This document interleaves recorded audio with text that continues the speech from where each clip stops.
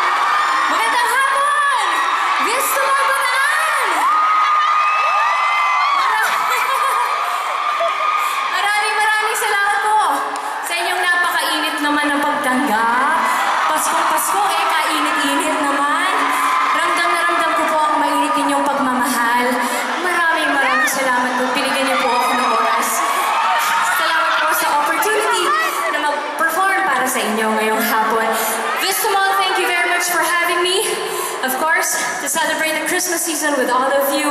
Excited na ho ba kayo? Parang kailan lang. Kakapasko lang ngayon. Pasko na naman ulit. Pakabilis talaga ng panahon.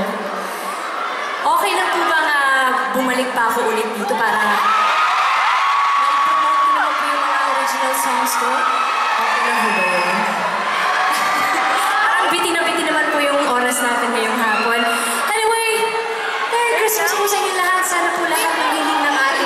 puso ay matupad din in God's perfect time. Para po sa inyo lahat, pwede ba akong minum konti?